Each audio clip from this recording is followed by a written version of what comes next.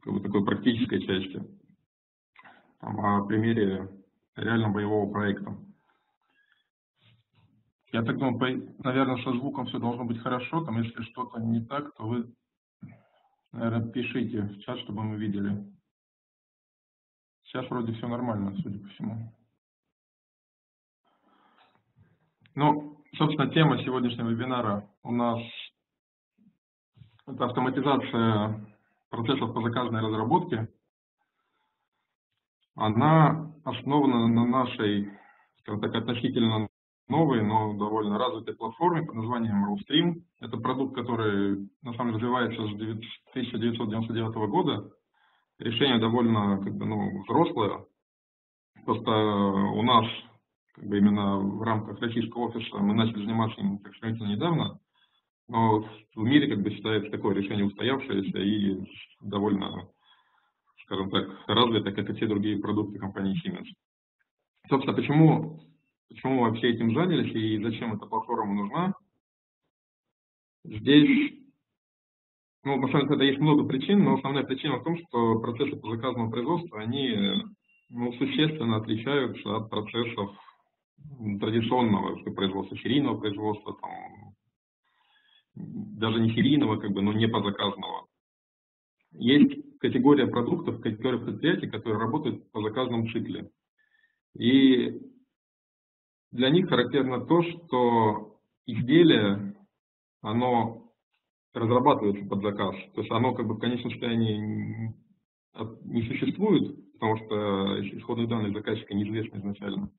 И при получении заявки от заказчика нужно это изделие, соответственно, проработать и произвести.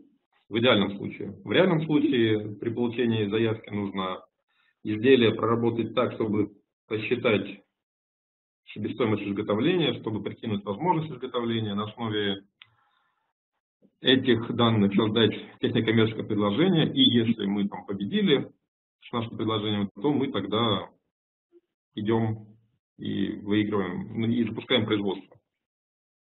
Традиционные инструменты, которые у нас есть там, в пиловых системах, в торговом центре, они хорошо подходят для получения состава изделия для серийной продукции, для управления там, многовариантной продукцией, когда у нас есть автомобили, у которых там есть много-много опций, но в случае с позаказным производством сложность состава изделия, если реализовывать через варианты опции, оно на порядок выше. Там, если, условно говоря, все комбинации опций автомобиля это может десятки миллионов, то все комбинации какого-нибудь оборудования, там, блочно-модульного оборудования, каких-то там автоматики, это миллиарды.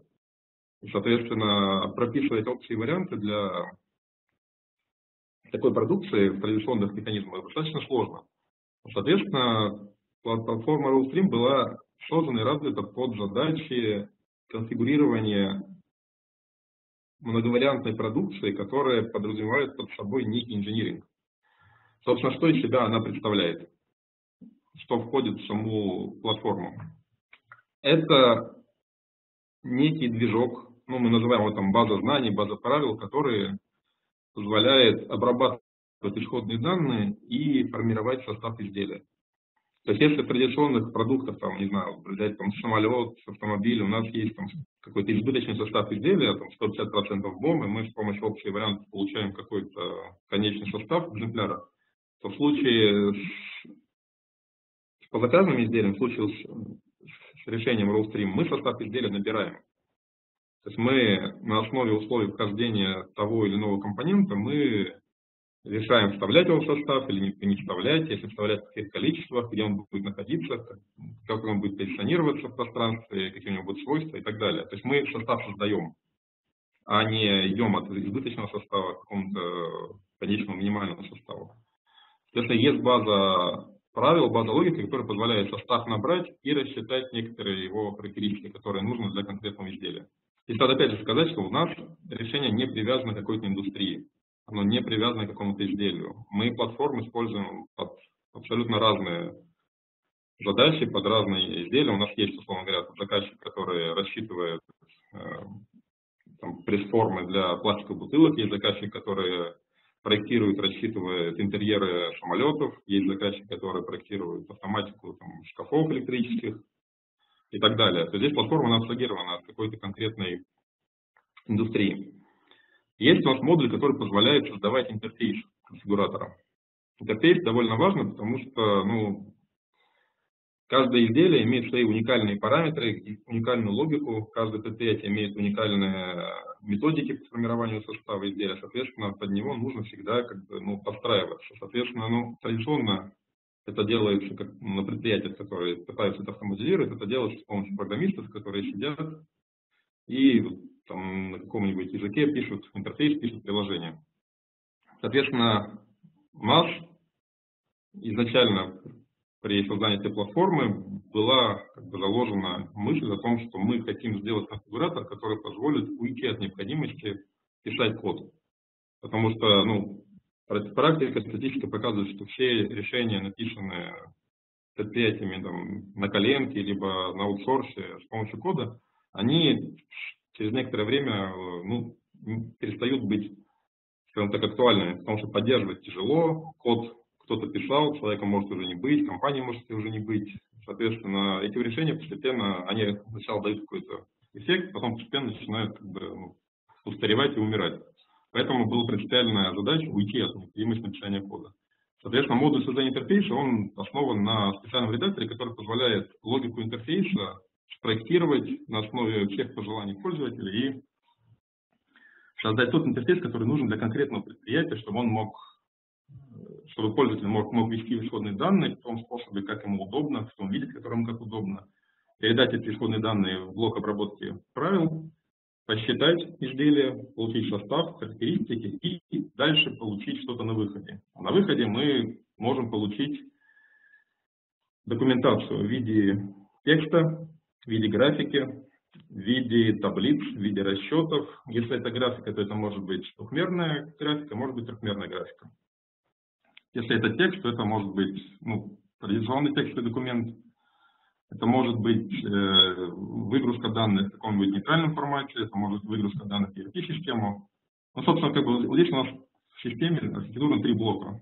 Модуль создания логики, описание логики, модуль создания интерфейса и модули вывода информации. Соответственно, какие задачи мы охватываем?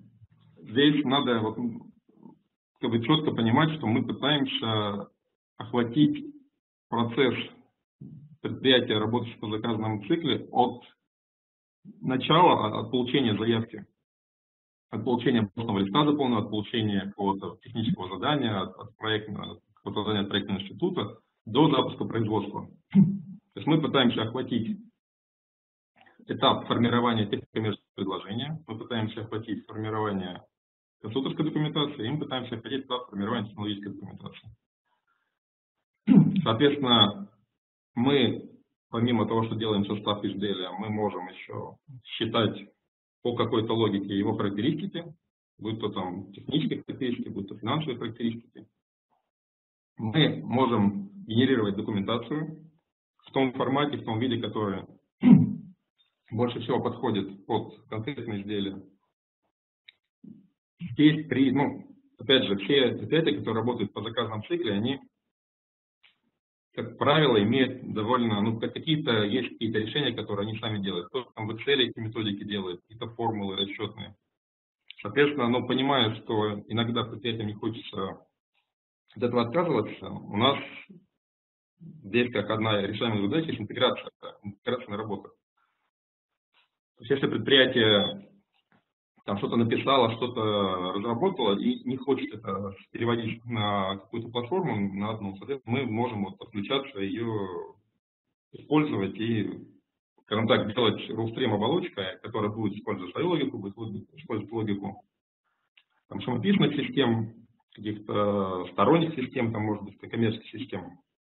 То есть у нас одна, одна из задач интеграция всех всех средств автоматизации под одной крышей, чтобы не было много каких-то лоскутных решений, которые в каком-то подразделении там-то и там-то решают какие-то задачи.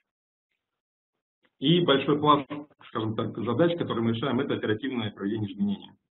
То есть в системе RuleStream все, каждый заказ, каждое изделие – это некая динамическая сущность, которая, скажем так, условно ассоциативно зависит от исходных данных. То есть если там заказчик, как ваш заказчик, звонит и говорит, что вот поменяли исходные данные, нужно там поменять какой-то параметр, у нас там вот какие-то размеры поплыли, нам нужно изменить, то система позволяет это в оперативном режиме учесть. То есть мы можем на любом этапе ввода исходных данных, на любом этапе получения документации, когда уже даже документация получится, мы можем изменить исходные данные и пересчитать и получить заново выходные документы, основанные на, на новых исходных данных. То есть вопрос проведения изменений здесь, скажем так, он довольно важный. Это, как правило, самая большая головная боль, когда нужно быстро реагировать на изменения исходных данных. Соответственно, архитектура системы, она это учитывает. Как работает система? Ну, собственно, блок, блок логики, блок правил, про него я уже говорил. Соответственно, изначально механизм правил, он, естественно, ничего не знает о конкретном изделии, о конкретном заказчике. То есть этот блок, он как бы нуждается в его настройке. То есть выбирает какое-то конкретное изделие и с помощью специалистов разных отделов. Это может быть проектное отдел, это может быть инженерное, конструкторские, технологические. Описывается логика. Есть специальный редактор, который позволяет описать логику формирования состава изделия в виде логических правил. Когда мы можем сказать, что у нас такая-то позиция, она входит в изделие при таких-то условиях, а при таких-то условиях она не входит. Либо можем сказать, что у нас вот есть какая-то деталь, конструкции, которая может меняться в таких-то диапазонах, в таких-то таких характеристиках, может менять э, размер таких-то диапазонов. Эта система это все, эти правила усваивает, понимает, запоминает.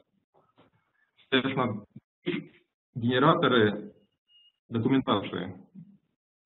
В системе предусмотрено несколько штатных интеграторов, то есть мы, если там речь идет о CAD-системах, у нас есть модуль интеграции, который позволяет генерировать документы, там 2D-документы, 3D-документы, Соответственно, если нужно генерировать трехмерный макет изделия, там, допустим, какие-нибудь э, блочно-модульные здания, либо какие-то там контейнеры, либо там интерьеры, там, допустим, какого-то изделия, то, соответственно, система может на основе блока правил подключать эти модули, включать CAD-системы и генерировать сборки, генерировать чертежи, какие-нибудь схемы, монтажные схемы и так далее модуль интеграции с базами данных. То есть мы можем, в принципе, ну, условно говоря, за, скажем так, почти 20 лет существования системы, она уже внедрена там, больше, там, ну, уже 600, 600 с лишним заказчиков. У каждого заказчика свои источники, скажем так, баз, свои источники каких-то справочников, стандартные изделия, какие-то цены, остатки на складах, у кого-то 1С, у кого-то ШАП, у кого-то БАН, Соответственно, у нас в систему встроен модуль, который позволяет, в принципе, интегрироваться ну, с любой базой данных. Если эта база данных как бы, позволяет данные забрать, то мы можем считывать эти данные и обрабатывать. Использовать логику правил, смотреть, там, условно говоря, при формировании состава изделия, мы можем залезть в ERP-систему, посмотреть, сколько у нас этот конкретное, там, если это покупное изделие, сколько оно будет поставляться, если там придется. Или там выбрать поставщика, который поставит там изделие в течение какого-то нужного нам времени, либо посмотреть, сколько у нас на складе есть каких-то единиц оборудования. Если это оборудование подходит под характеристики, то мы его учтем. А если не подходит, то возьмем какое-то другое. Либо сделаем так, что нужно там будет его там, доработать или разработать. Соответственно, есть модуль, который позволяет подключить нам расчетные системы, потому что есть довольно ну, много заказчиков, которые там, говоря, используют для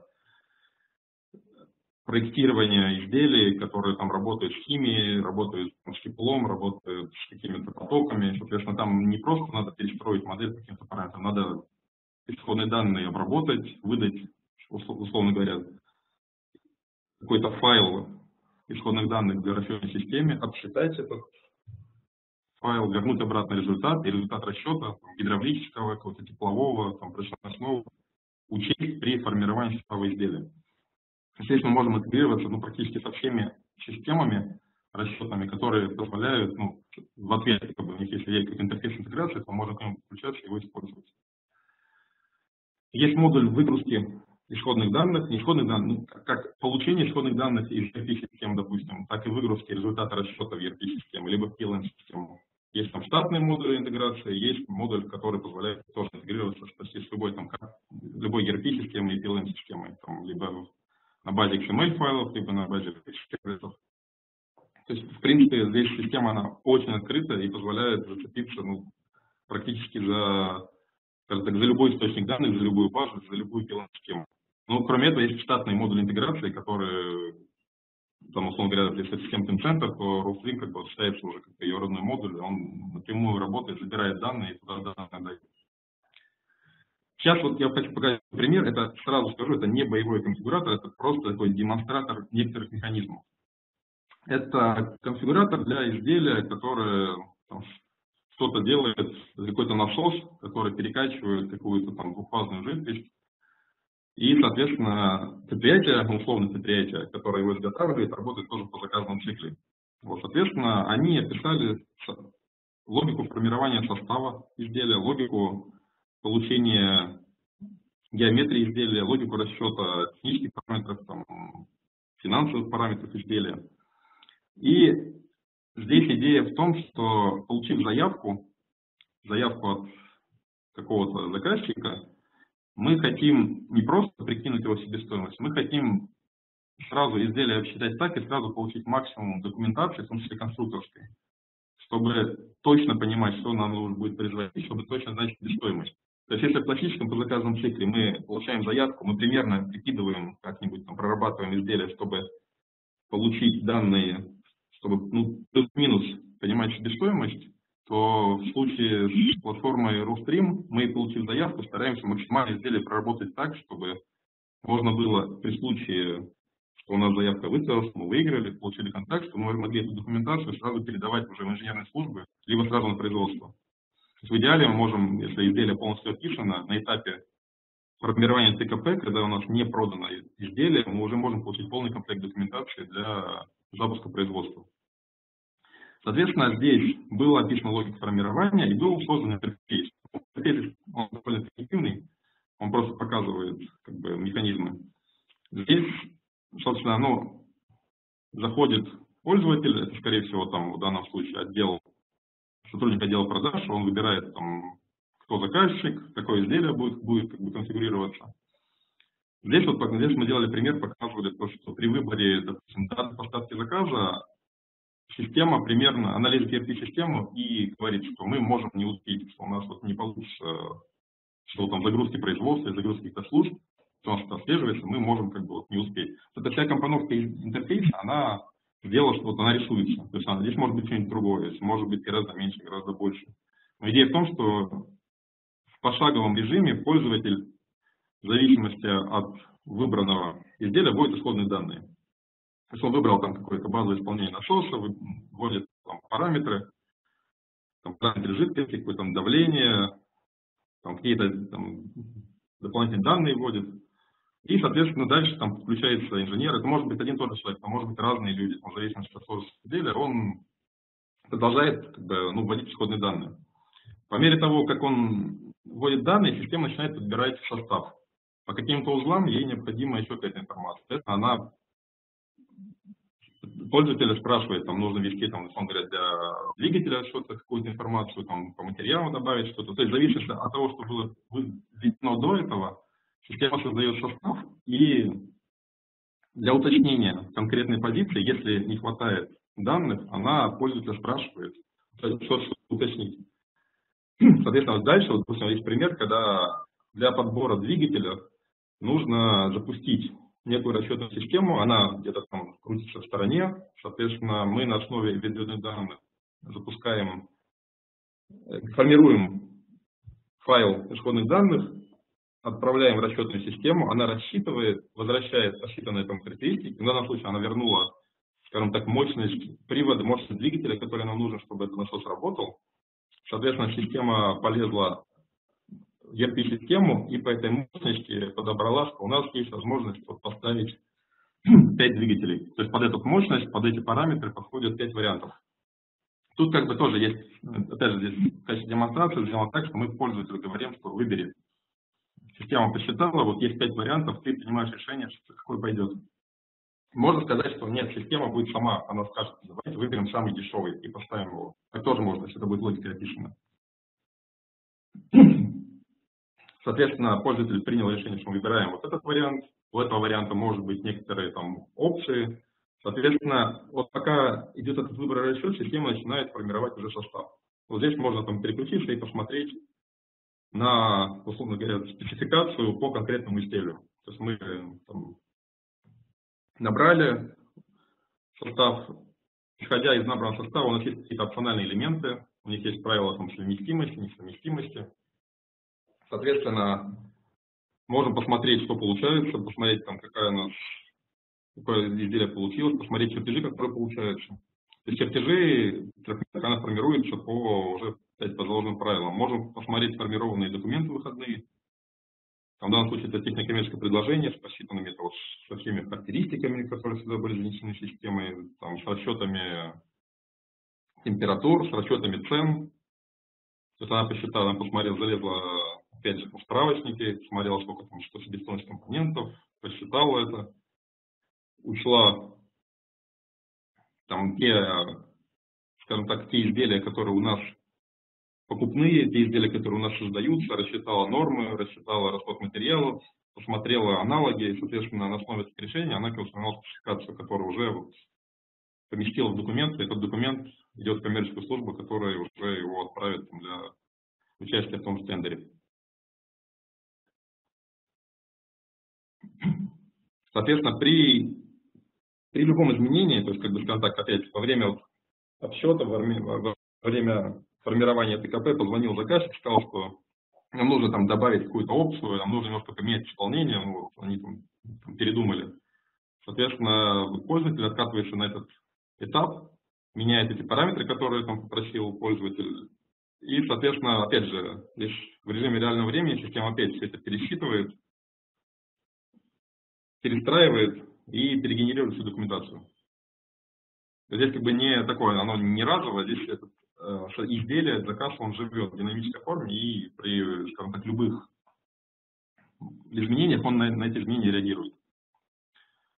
Ну, э, это, скажем так, принцип работы конфигуратора, как он работает и что, что там можно делать. Но здесь опять же надо понимать, что вот эта реализация, она просто вот сделана как бы под конкретный сценарий при любом другом изделии, при любом другом заказчике, при любой другой методике реализация она будет другая, естественно.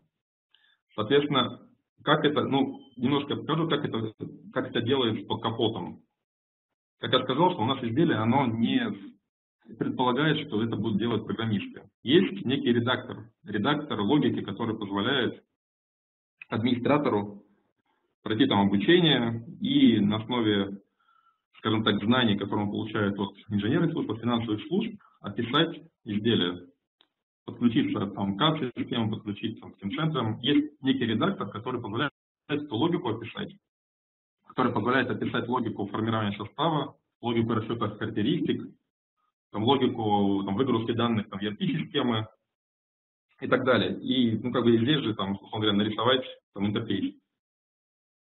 Это вот, кардинальное отличие от традиционных конфигураторов в том, что ну, здесь не программист работает, который вот сидит годами код пишет. Здесь работает именно система-администратор, который, скажем так, вот он ушел, исчез, мы взяли нового администратора, обучили системе его, как бы, и он дальше как бы, его развивает. То есть здесь предприятие, оно отвязано от конкретного, скажем так, исполнителя, оно отвязано, оно защищено, скажем так, от того, что там ушел человек и все это умерло. Бы, есть полноценное приложение, которое позволяет уйти от, скажем так, максимально уйти от программирования. Еще один маленький примерчик такой, но он, скажем так, та же идея, но просто немножко другое изделие, просто вот показать разницу. Это оборудование, тоже оно, оно блочно-модульное, это холодильное оборудование, которое, скажем так, надо конфигурировать немножко другим способом. То есть нам нужно здесь дать возможность пользователю, ну, скорее всего, это проектный отдел, поиграться компоновкой. То есть он может, там, как бы, используя некий редактор, там, неважно что, попытаться прикинуть другую компоновку или какую-то, сформировать новую компоновку, изделие своего. То есть он для данного случая, есть компоновка того помещения, соответственно, вот сидит инженер и прикидывает, что мы там сформируем вот такую компоновку нашей холодильной установки, это будут какие-то блоки с какими-то параметрами, может опять же прикинуть, посчитать размеры, система там пользуется справочники, разберет туда данные, там, посчитает там, расходы флотагентов и так далее. На основе, опять же, рассчитанного состава, на основе тех исходных данных, которые он там ввел, система, опять же, формирует ему изделие. Эти, вот эти сборки, они создаются, они создаются система, она понимает, что нужно вставить, какие детали нужно построить, где там наша геометрия меняется, с какими ограничениями она может меняться, как она должна быть позиционироваться. Соответственно, генерировать чертежи, это могут быть сборочные чертежи, это могут быть детальные чертежи, это может быть, опять же, схемы, это может быть раскрой материала даже. Мы можем на основе сформированной 3D-модели получить раскрой и передать его там технологам, чтобы они могли начать там уже там, работу по подготовке производства. Соответственно, формировать выходные данные, опять же, считал, что есть разные модули интеграции, можем в любых, любых системах, ну, практически в любых. Документы, там, текстовые, коммерческие, графические, там, расчетные, без разницы.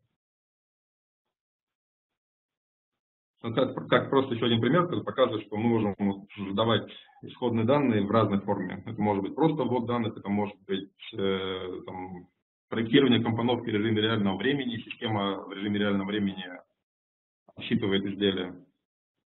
Соответственно, выходные данные здесь, они, опять же, могут уходить там, в коммерческие службы, могут уходить в маркетинговую службу, могут уходить там, еще куда-то. Собственно, ну, система, она изначально не знает, под, что делать документ, ей, в принципе, все равно. Поэтому на этапе внедрения описывается шаблон, описывается логика формирования документации, что мы хотим видеть, там, на каком языке, где у нас должны быть схемы, где должны быть картинки, где у нас были расчеты ну и так далее. Соответственно, ну, основные отличия платформы Rostream, то есть, если забегая, скажем так, ну, немножко вперед, скажу, что у нас, ну, по факту в мире есть там где-то, говоря, 5 полноценных коммерческих решений для создания конфигураторов. Так получилось, что в России почему-то нету никого, кроме Rostream. Ну, там исторически сложилось. Соответственно, отличие, у нас часто путают, что у нас вот есть какой-то другой конфигуратор, есть там DriverWorks и еще что-то там. Rulestream, он заточен именно на несерийные изделия. И основная здесь, как бы, скажем так, идея, что под серийные изделия подбирать, серийные изделия подбирать легко по характеристике, это там цель справляется.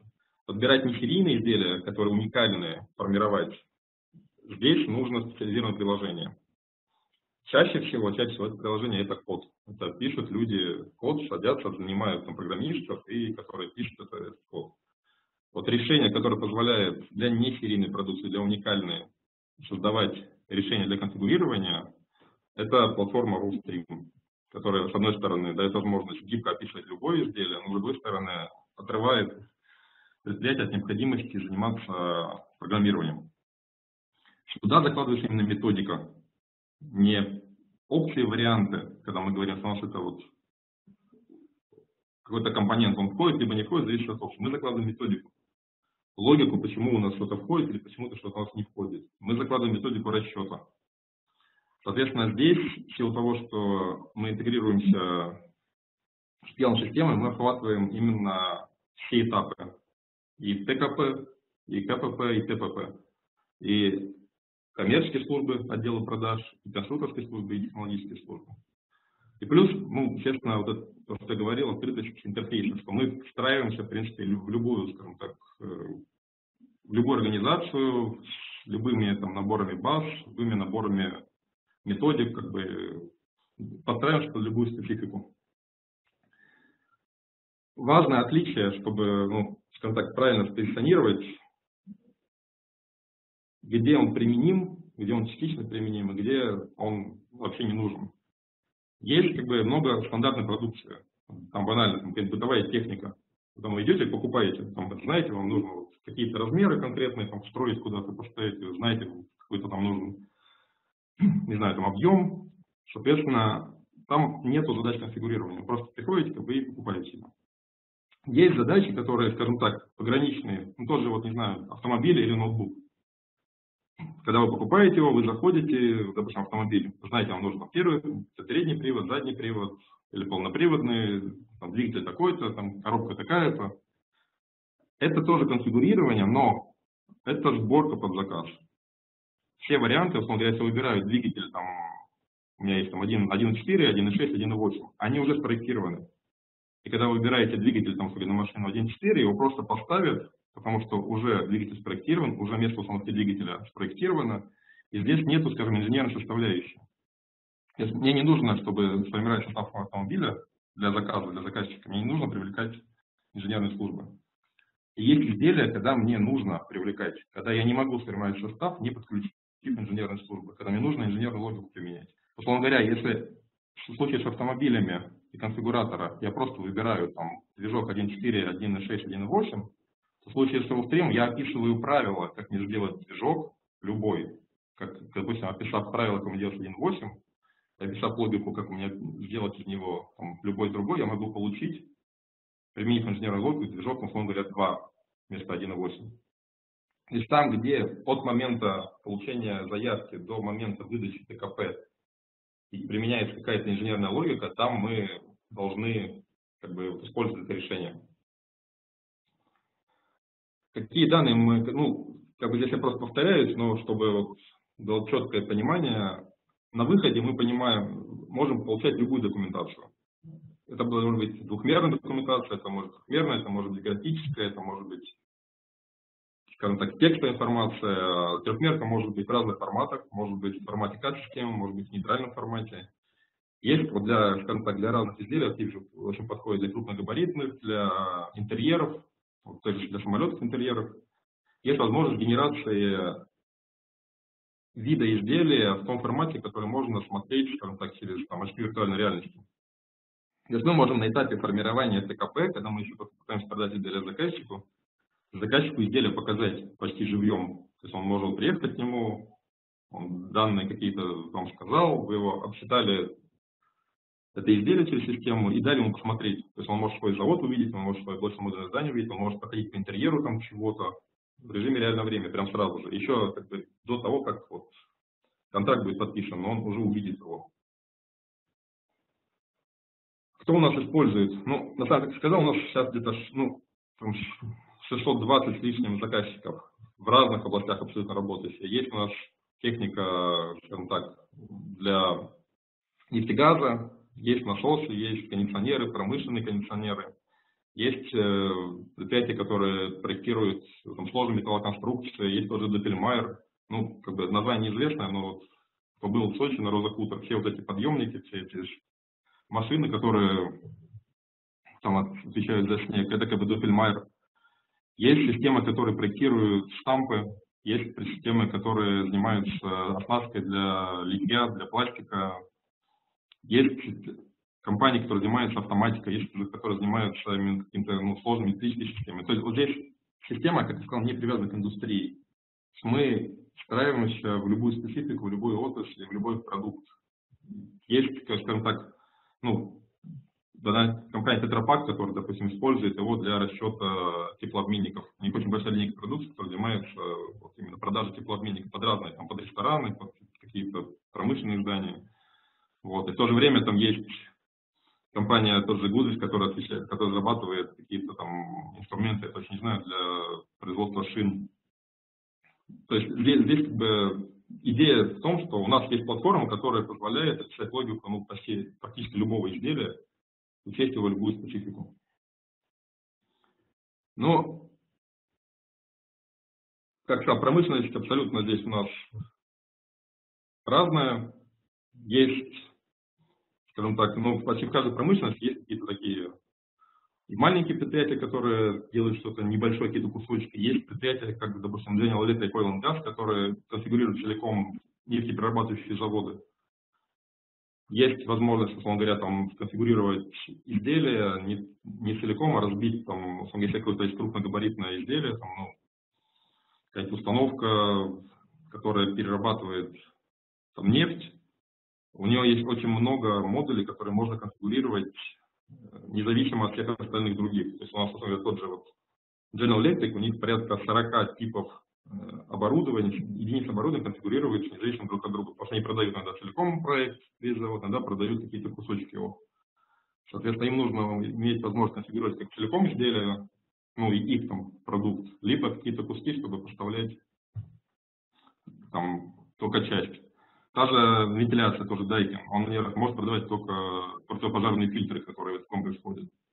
Соответственно, конфигуратор позволяет охватить несколько уровней, конфигурировать целиком все изделие, либо конфигурировать какие-то составные части и выдавать им документацию по, либо по всему изделию, либо только по каким-то частям.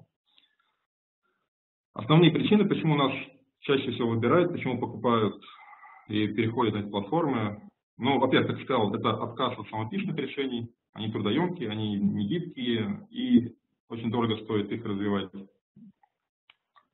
Чаще всего сотрудники отдела продаж, они пытаются э, ускорить процесс обработки заявок, им нужно обрабатывать быстро и точно, в идеале. Соответственно, быстрота зависит от э, того, как отработает инженерная служба. А инженерные службы, они тоже перегружены, и, соответственно, получается, как бы либо приходится ждать, пока инженерные службы точно отработают, либо давать быстро, но не точно, примерно. Тут очень большая зависимость от человеческого фактора. Есть какой-нибудь там вот умудренный, опытный специалист, который может быстро, скажем так, на основе опыта что-то прикинуть. Специалист этот исчезает, заболевает, и процесс сразу он сбивается. Поэтому специалисты от коммерческой службы чаще всего, там, директора по развитию, они пытаются вот, э, формализовать логику проработки заказа, чтобы, во-первых, освободить конструкторов чтобы консультора могли заниматься творческой работой, а не обрабатывать заявки. Вот, опять же, по статистике, скажем, в России, сколько вот мы общаемся, ну, 20% из того, что конструктора просчитывают, идет в работу. Это в лучшем случае. 80% то, что они просчитывают, оно идет в корзину, потому что там заявку не выиграли, они там, по цене не прошли, не успели и так далее. Соответственно, чаще всего у предприятия есть задача убрать этот труд по обсчету заказов конструкторов заставить, там, дать им возможность заниматься творческой работой, а в то же время попытаться максимально ускорить и уточнить расчет. Дальше, ну, что дает предприятию? Во-первых, самая основная идея, что предприятие получает возможность независимо развивать бизнес-логику своих процессов, не опираясь на человеческий фактор. Мы не зависим здесь от каких-то программистов, которые это все описывают. Мы здесь максимально независим от тех, скажем так, уникальных носителей знаний.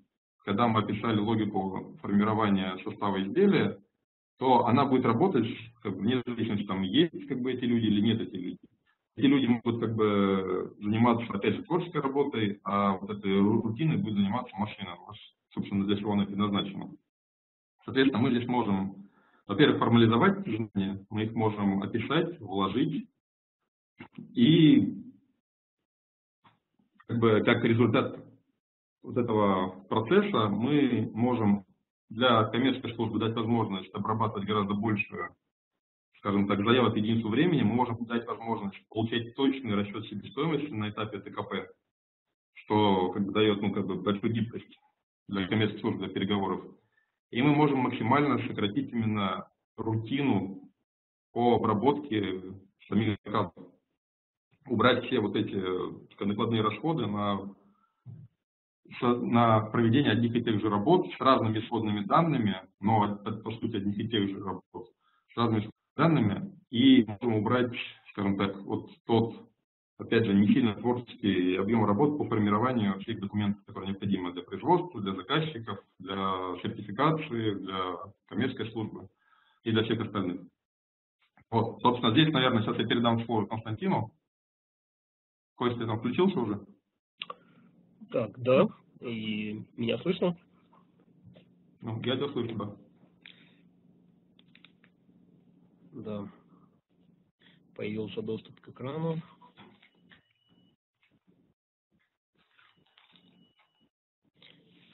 Так, появилась картинка? Да. да отлично. Спасибо, Юра. А, да, коллеги, приветствую. А, меня зовут Константин Исаков. А, вот в следующей части доклада мы с вами рассмотрим более детально а, пример а, проекта, который был реализован а, в России нашей командой российской. Он относится к к энергетическому оборудованию, к производству комплектов трансформаторной подстанции. И более детально сейчас мы с вами рассмотрим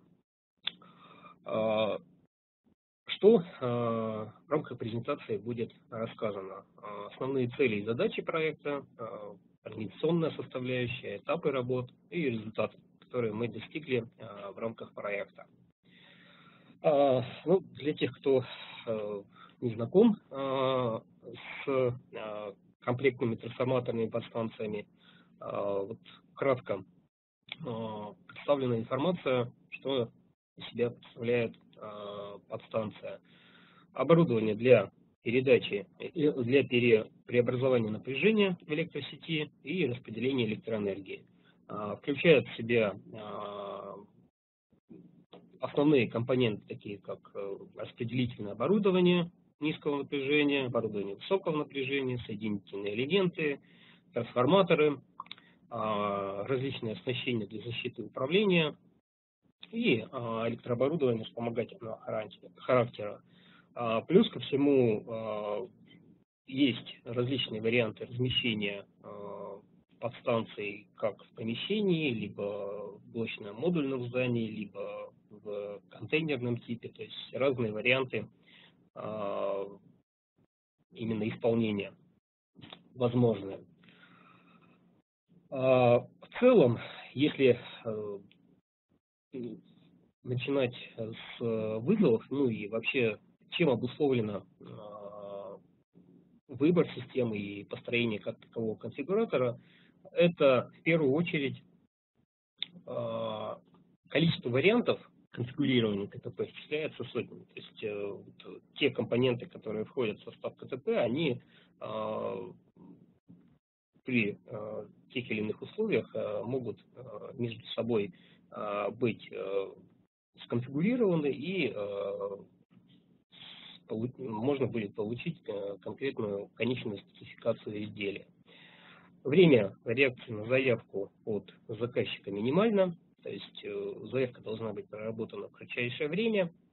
В состав технико-коммерческого предложения входят как схема размещения трансформаторной подстанции, так и ее вид, э, различные линейные схемы, э, виды, э, ну, компоновочные решения. Также, безусловно, в состав ТКП входит само технико-коммерческое предложение и калькуляция стоимости. И также, безусловно, один из тоже немаловажных факторов, что после того, как тендерная заявка или а, коммерческое предложение принято заказчиком, необходимо а, минимальные сроки перейти к рабочему проектированию и, а, или производству. Соответственно, эти сроки также минимальны, и решение с помощью, настройки конфигурирования с помощью RuleStream решает и эту задачу. Давайте более подробно рассмотрим, каким образом наши Э, целевые показатели к системе э, преобразовались э, в задачи и цели основного проекта. То есть, исходя из целевых показателей, мы выделяем четыре основных задачи. Это в первую очередь формализация правил подготовки исходных данных и самого формирования ТКП. Это создание Э, базы, э, элементной базы э, трансформаторной подстанции для конфигурирования, автоматизация процесса получения ТКП с различными интеграционными механизмами для получения исходных данных или данных, которые участвуют в конфигурировании, и передача в внешние системы предприятия результатов конфигурирования. Как результат, решение э, этих задач позволяет э, повысить конкурентоспособность компании в текущих условиях рынка, рынка позволяет более гибко подходить к формированию технико-коммерческих предложений и быть намного более мобильными и оперативными. Основные этапы реализации проекта были разделены на три части. Ну вот, принципе, частично это похоже уже на те задачи, которые ставились перед проектом. То есть это формирование правил конфигурирования, настройка интерфейсной части, а, непосредственно а, сама настройка рулстрима, а, описание правил конфигурирования, наполнение базы элементов, визуализация компонент, видео для... Почему видео? Сразу же раскрою один из, наверное, основных составляющих формирования компоновочных решений, схем, мы использовали визию. Для вот трансформаторных подстанций, на наш взгляд, это, этого было достаточно, и э, все поставленные задачи были решены с помощью э, удобного э, и гибкого инструмента Microsoft Visio. А в состав Rustream входит э, интеграция, уже готовая с э, продуктами Microsoft а, Office, э, в частности, технико-коммерческое предложение формировалась в Word, видео формировалась компоновочная часть решения, ну и частично где-то можно было использовать Excel. Но вот в данном случае мы не использовали, в принципе, есть и вариант, когда можно, например, какие-то таблицы, составную часть технико-коммерческого предложения также формировать с помощью Excel. И третьим этапом являлась непосредственно передача данных внешней системы, результатов конфигурирования. К результатам конфигурирования мы относим такие выходные документы, как э, спецификация, э, либо э, в случае, если на предприятии настраивается интеграция с CAD-системой или с PLM-системой, то фактически конфигурирование изделия в 3D, э, формирование состава электронного в PVM-системе и дальнейшем как бы, это уже является основой для рабочего проектирования, либо для технологической подготовки производства. А, в целом, трудоемкость каждого этапа представлена вот такими двумя минимальными и максимальными оценками. То есть э, почему две цифры? То есть э, объясню, что зачастую как бы, вот, э, а, не всегда на предприятии или у заказчика достаточно высокая такая готовность для старта проекта именно для описания правил конфигурирования в системе. То есть зачастую правила конфигурирования, которые применяются на бумаге, либо в Excel, они содержатся там, в голове у э, ключевых исполнителей, у экспертов, и э, приходится ну, потратить определенное количество дней для того, чтобы эти правила каким-то образом формализовать. То есть их нужно будет положить на бумагу, э, далее, соответственно, согласовать с основными участниками и э, занести в систему. А, то же самое происходит э, и э, с э, выходными документами, то есть выходные документы иногда нужно будет, те, которые раньше традиционно использовались, может быть, даже и перестроить. То есть они, возможно, как бы были заточены под ручное наполнение, но когда появляется автоматизированный процесс формирования ТКП, где-то что-то нужно будет перестраивать. Ну и также вот э, на второй этап в основном э, влияет э, готовность предприятия по части э, элементной базы э, изделия, в данном случае ТТП. То есть если э, элементная база э, по большей части она уже готова э, в Excel или где-то, может быть, в каких-то сторонних системах, и мы эти э, данные можем загрузить э, в RunStream и использовать, то тогда, соответственно, процесс существенно ускоряется. Если же нет, то, соответственно, тоже проходит определенное время, прежде чем предприятие эти данные каким-то образом ну, сформулирует или наполнит, и мы сможем их загрузить. Как вариант, один из примеров, также который возможен именно для реализации проектов, мы в рамках проекта ограничиваем количество элементов, которые заносятся для опытной эксплуатации, для, для опытной эксплуатации решения. Но в последующем, соответственно, предприятие постепенно донаполняет эту базу и в целом расширяет возможности конфигурирования. Все это гибко, прозрачно и в открытом доступе, соответственно, после проекта остается полная, а, а, полный доступ к настройке системы, и а, это можно делать самостоятельно.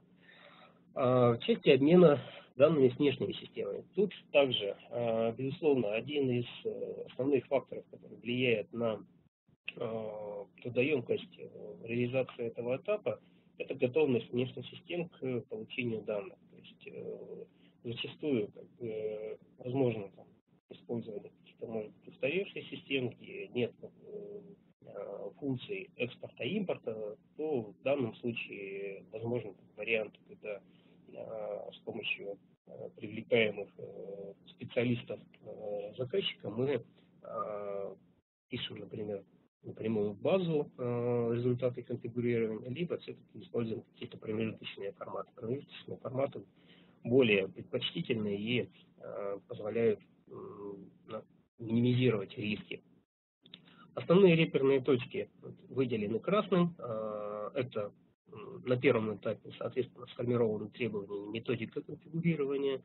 Э, на втором, в окончании второго этапа э, завершена настройка основных элементов формирования ТКП. И в завершении третьего этапа мы получаем результаты конфигурирования в либо производственной системе, либо в системе управления э, инженерными данными, PLM или PDM-систем. Организация проекта. Э, безусловно, э, команда, на наш взгляд, должна быть зеркальна, то есть со стороны заказчика должен быть выделен руководитель проекта, архитектор, который, а, ну или архитекторы, которые являются носителями знаний а, именно в части конфигурирования. С нашей стороны архитекторами являются люди, которые разбираются в системе и понимают, каким образом правила, описанные на бумаге, должны быть э, интерпретированы в электронном виде. Ну и также техническая группа, которая занимается э, настройкой интеграции с э, вордовскими продуктами, либо с внешними какими-то системами. Э, в целом продолжительность проекта от 6 до 8 месяцев. Э, команда, соответственно, 5-8 человек, это была постоянная часть, э, остальные э, сотрудники привлекались по, э, по мере решения тех или иных задач или возникновения каких-то вопросов. Э, для э, развертывания э, RuleStream необходимо э, серверное оборудование, то есть это должно быть выделенное, выделенное железо, потому что RuleStream базируется на базе данных и, соответственно, на бизнес-логике, которая зашита в серверной части. Клиенты, соответственно, уже, конечно же, там ставятся на рабочих местах. Плюс есть возможность подключения через а, удаленные а, веб-клиенты а, к Rollstream. Основные функции системы, которые были автоматизированы и решены в рамках проекта. То есть это, безусловно, ввод исходных данных по заявке на КТП, вот всей той информации, которая раньше передавалась либо Э, в виде э, в виде вордовском или в экселевском э, каком-то документе по почте, либо в виде технического проекта от какого-то института, то есть зачастую как бы вся эта информация раньше она в ручном виде перерабатывалась и поступала к сотрудникам для начала процесса конфигурирования. Далее, система автоматизирует процесс обработки исходных данных, уже, соответственно, сужает критерии для поиска либо подбора оборудования. Также состав работы, состав задачи конфигурировано, включено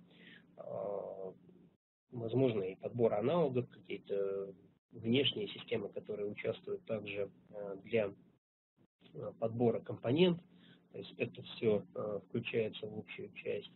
А, системе реализованы механизмы для расчета стоимости, то есть это различные алгоритмы по доставке, либо монтажу, либо по стоимости покупных компонент собственного э, изготовления. В нашем случае эти данные мы э, забирали из ERP э, системы, системы предприятия.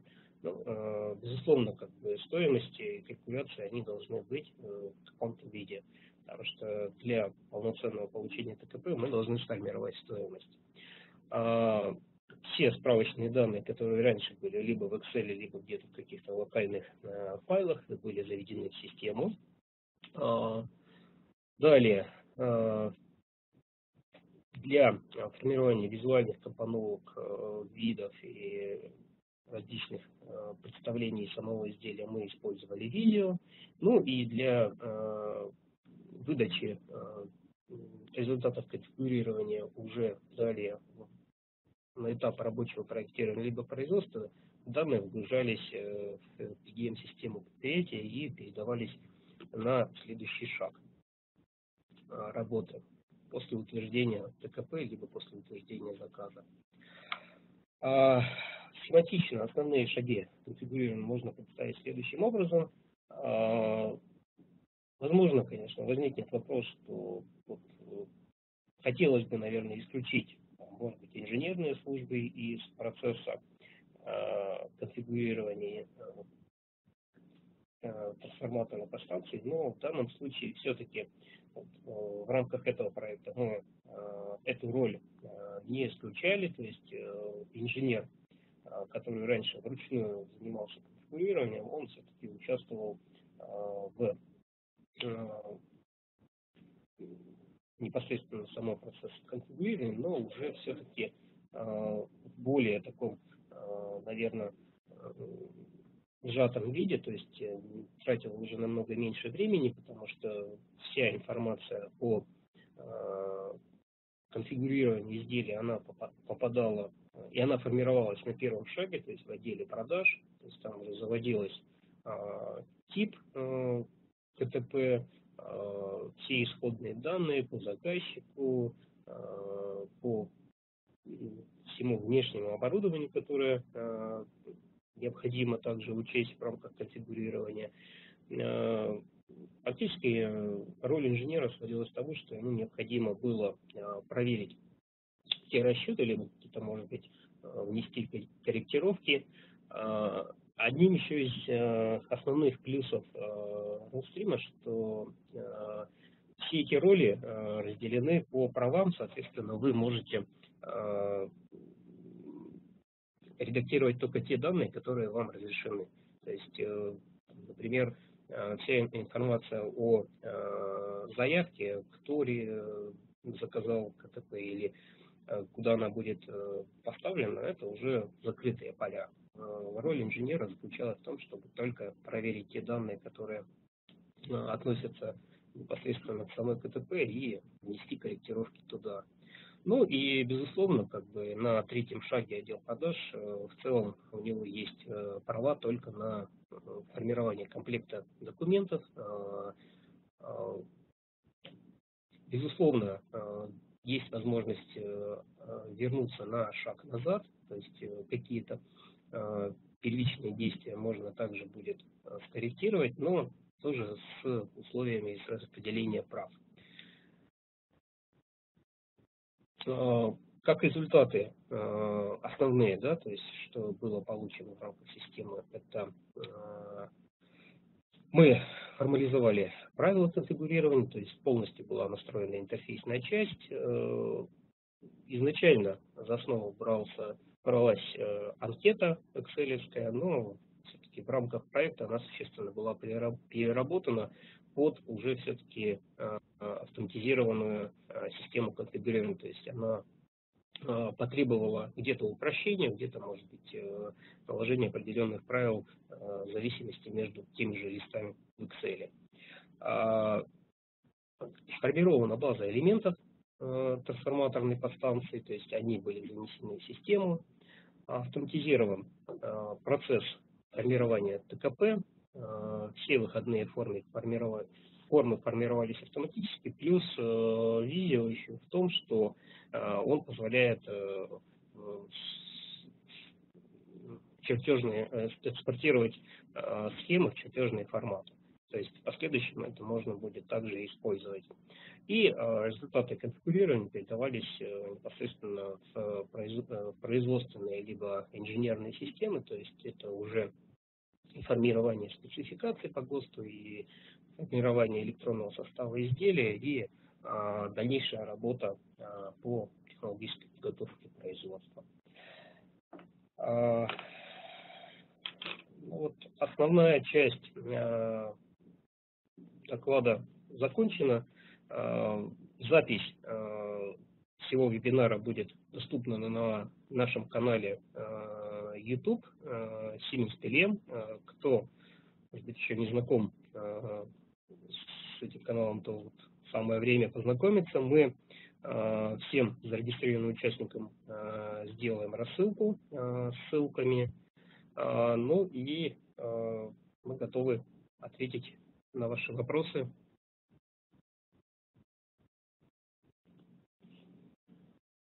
Пожалуйста, задавайте их в чат.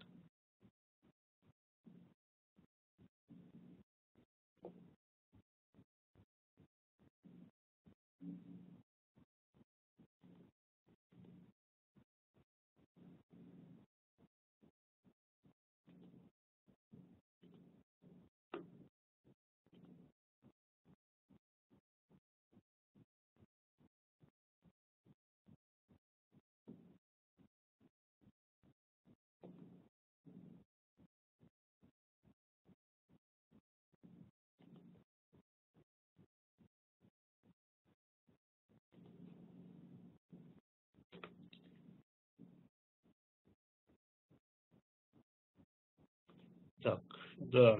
Э,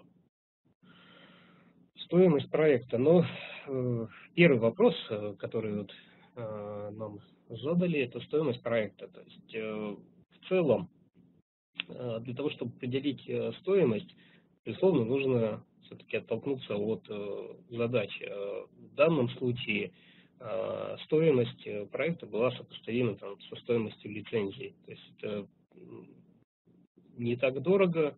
Э, основные, э, может быть, какие-то элементы даже работы после обучения э, заказчик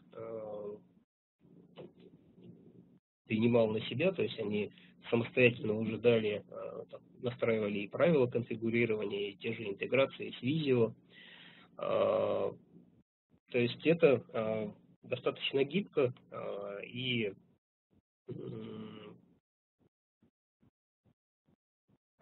нужно все-таки индивидуально подходить, вот если мы говорим о каком-то, может быть, аналогичном проекте, то есть э, зачастую те же э, внешние системы, они могут быть разные на предприятиях и требовать там, того же привлечения, например, ERP-консультантов, да, то есть если собственных специалистов на предприятии нет.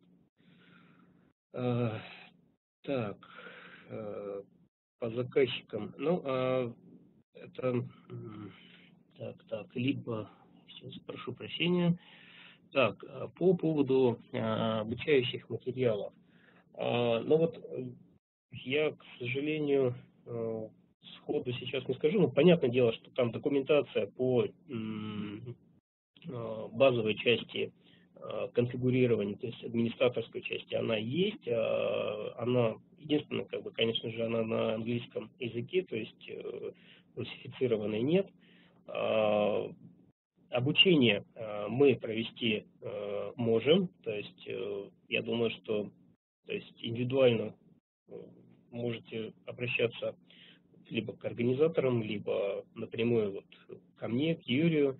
То есть мы э, могли бы э, специализированный какой-то курс э, в виде там нескольких дней консультаций провести. То есть э, э, в целом э, у нас сейчас есть уже э, такая, скажем, унифицированная э, виртуальная машина с э, настроенной э, логикой именно конфигурирования, то есть зачастую мы, в принципе, можем и на ее основе э, сделать обучение и показать, каким образом настраивать систему и конфигурировать. А, так.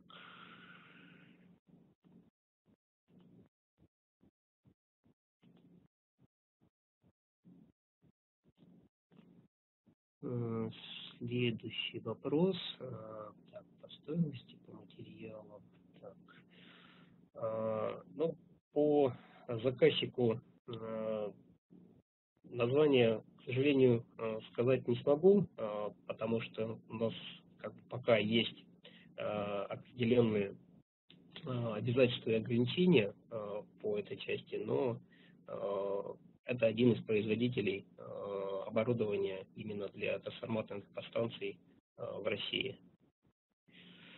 А, да, интерфейс. Э, следующий вопрос. Э, интерфейс самого клиентского модуля на русском. Да, безусловно, э, версия Rollstream появилась буквально последние, наверное, три месяца назад русифицированная.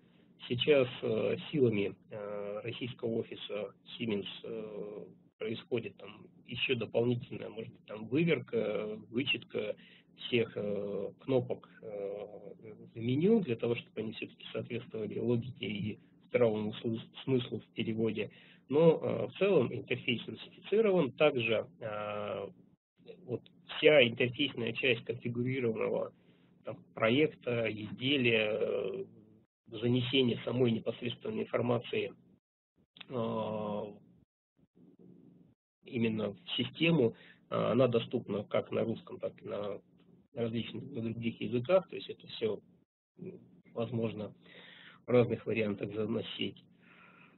Так, следующий вопрос. А, можно взглянуть на веб-интерфейс, как он выглядит, в том числе интегрированный функционал видео? А, ну вот, к сожалению, я сейчас показать не могу. А, в принципе, тоже можете через либо организатора вебинара, так, это мы так, да, это вот я записал этот вопрос по части видео. Мы по вашему по веб-интерфейсу свяжемся именно и я думаю, что либо какую-то удаленную демонстрацию сделаем, либо э, пришлем материалы, как это все выглядит. То, что касается видео, ну, э, полностью а, вот в RuleStream интегрировано а, окно Microsoft а, либо Word, либо Visio, и вся интерфейсная часть Visio, она, соответственно, доступна внутри RuleStream. Единственное, что, понятное дело, вот э, кто знаком, наверное, с работой, с, э, кто знаком с возможностями Visio, то прекрасно понимают, что вот прежде чем э, что-то начать конфигурировать, мы фактически наполняем э, базу э, видео и вот при конфигурировании того или иного изделия вы фактически получаете уже преднастроенную визуальную часть изделия и уже, может быть, там какие-то элементы либо можете сдвинуть уже самостоятельно, либо может быть, пере, пере, переконфигурировать уже непосредственно видео. Ну, в целом, как бы, там, на 95, на 98 процентов то, что сформировалось автоматом видео, этого было достаточно. Так, я запишу.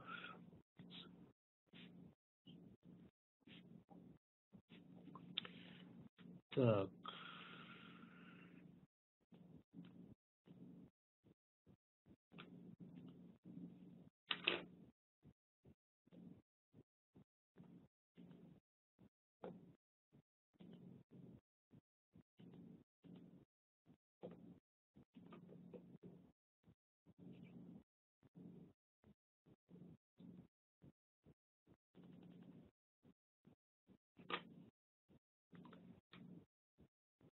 Больше новых вопросов не появляется.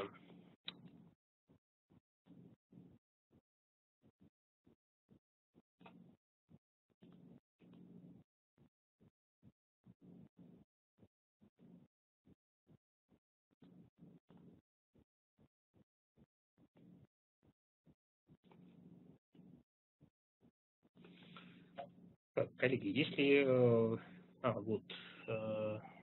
Э, да, коллеги, если вопросов больше нет, то предлагаю, наверное, завершить. То есть э, в любом случае у вас есть возможность с нами также побеседовать, либо еще какие-то вопросы задать. То есть мы всегда доступны, и как Юрий, так и Константин Исаков, и мы сможем ответить на ваши вопросы.